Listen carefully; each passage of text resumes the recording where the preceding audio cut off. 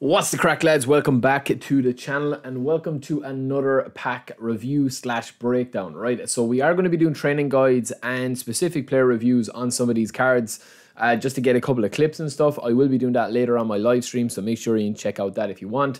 But listen, when you've played the game as long as I have and you know exactly what type of players they are, um, it's very easy to see what are going to be beastly players and what are going to be busts, right? So obviously there are exceptions to the rule, but mostly if you've got good levels and you can hit certain points with the stats for the type of player that they are, they are going to be either very strong or they're going to be just not good enough. And uh, there's a couple of mid-game players in here. I would say that these four guys, five guys at the back, Klostermann is actually a very unique one. We'll get to him in a second. But these four here, Wilson, Vidal, Burj, and uh, Levakovic, Levakovic, these four are just kind of average enough, uh, especially if you've been playing the game for a while. Yes, they do have fairly high levels. Um, Wilson has got standard form, which at the moment is a bit of a pity. He does have first time shot, but as a goal poacher, he doesn't really have anything else, including balance, that is going to make him, you know, be an absolute beast. Now, as I said, he does have 36 levels to go, right? So when you've got a player, just for example, that has 36 or 34 or 35 levels to go,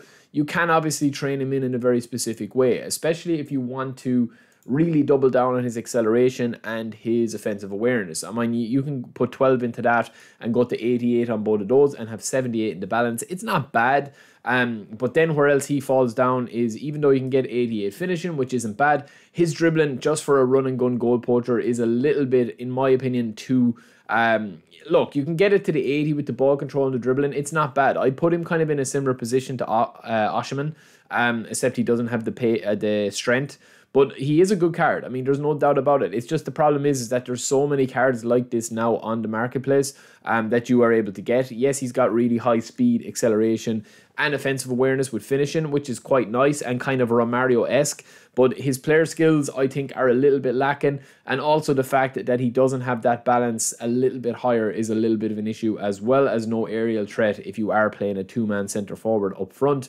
Um, so that's just something to keep in mind. These players, if you're starting off, like Wilson, will be a big improvement on whoever you have, especially if you've got a standard centre forward. I mean, obviously, these players are going to be good. But when you're putting these guys in comparison to how long the game has been out now, and the game has epics and legends, and you know, a lot of people have got really informed centre forwards that are just beastly players, it is kind of hard um, to kind of recommend a lot of these guys. The same could be said for this guy, Burj. Um, this guy is a young player, obviously, he's only 24. He's a box to box, which I always like. His defensive skills and defensive. Um, side of the game is really nice, even though he's got standard form. He's got really high defensive stats as a box to box, which I always like. It kind of puts him into the Goretzka mold, which is something that I would definitely be interested in. Um, his dexterity for his acceleration, his balance, and defensive awareness aren't too bad if you're playing a defensive player. Um, if we take a look at him here as a box to box, and he's just going to be covering a lot of ground, lads. That's basically what a box to box does, just being an average player across the pitch and covering a lot of ground as much as you possibly can. So, I mean, you do need high speed and stamina for that defensive style of, of the gameplay, or else you could just pop a few more into defense there if you want. You know, double touch, one touch pass, and interception with aerial superiority and heading. He's a giant in midfield as well. Um, he can play DMF and AMF. So yeah, a very unique player and way better than the standard card that they released. So yeah, there are a couple of hidden gems in here. Um, obviously goalkeeper is just going to be your standard goalkeeper, and then of course we have Vidal, who is just way too slow for that destroyer role. Yes, he can play as a kind of a DMF holding DMF, but his form is inconsistent. I would also say the same about Lukaku his inconsistent form, formulas is just not good enough. I mean, it's just not good enough. Even though he can be a bit of a beast, there are way better players in the standard GP marketplace than him. Um, well, I'd also put Laporte in there, right? Even though he's got fairly high stats, he doesn't have blocker, he doesn't have acrobatic clearance. Um, he has got interception, aerial superiority, heading, and man marking, and weighted pass and sliding tackle. But that standard form again is a bit of a killer on him, and he doesn't reach those heights that he possibly should. I mean, he hasn't had a really a really, really strong card, I think. Um, so I definitely think there are better centre backs than him. There's probably about five centre backs that I will do a video on that you should just definitely be buying. Um, the same can be said about Calhanoglu as well. This guy, very, very slow on the ball, excellent pace, excellent or excellent um, ability on the ball, but that inconsistent form doesn't make up for it. He doesn't have double touch. He doesn't doesn't have one touch pass. He can play a lot of different positions. I actually really like playing him on the right mid because you can slow everything down and just like put lovely balls in with that pinpoint cross and true passing away to pass. Um, he also has early crosser, but he is extremely slow if you're not used to playing with players that are quite slow. So that is just something to keep in mind, right? Now, I will take a look at Klostermann, right? And we'll take a look at the other two after that. But Klostermann is a very unique player, right? He's got a wavering form, which is huge. He also has blocker, interception, aerial superiority, acrobatic clearance, and heading. He has man marking as well. He doesn't have sliding tackle, which isn't a massive concern for a player like this because look at his acceleration and pace, right?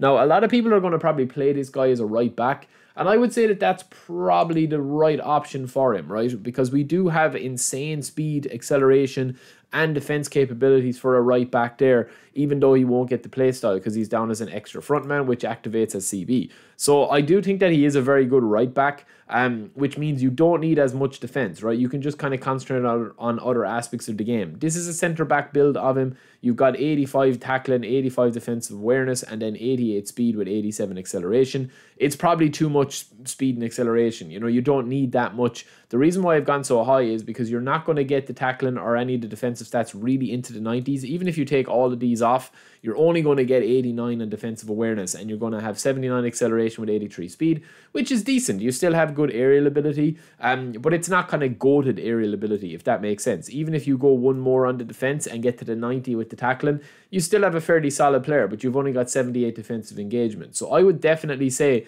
um, if you are playing him as a kind of like a 3-5-2 centre back, right? That he can play as a right back, but he's really playing as a tuck in centre back um, and you can attack with your other option. I mean, you've got a very defensive uh, minded player there with the player skills, and then you can really just pump up his dexterity, and you can also pump up a little bit of his uh, speed to get that to 90, which will be really, really nice.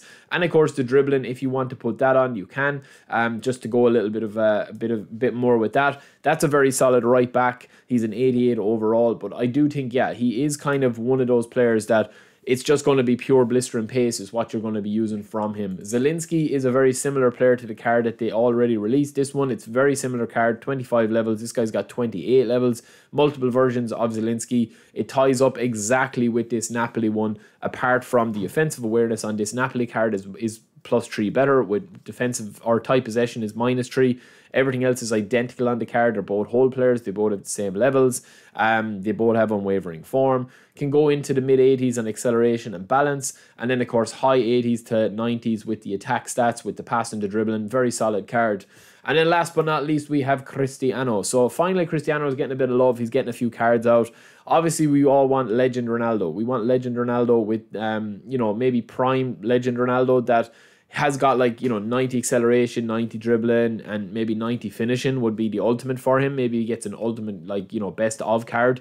Uh, and i think he definitely deserves one man. As a as a as a goat him and messi are definitely the goats of uh, of my age growing up um, and I think he should be shown the same love. But for now, we've got this card, which is very, very similar to this player of the week card when you train him up, right? It's actually better a little bit, um, depending on how you train him up. But I mean, this is a very solid card, especially in the air because he's got heading. He's also got long range shooting, acrobatic finishing, and fighting spirit, which is a kind of unique centre forward build for a goal poacher. 81 tight possession with 82 ball control, 86 finishing with 84 header, and then 91 kicking power with 91 jump, and 80 acceleration. And even though the balance is low, lads, that 93 offensive awareness you're kind of going to be playing him like your big target man up front. That's a little bit more mobile than Lewandowski or Benzema or whoever, you know, Harry Kane or whoever. So I do think that is a fairly decent pack.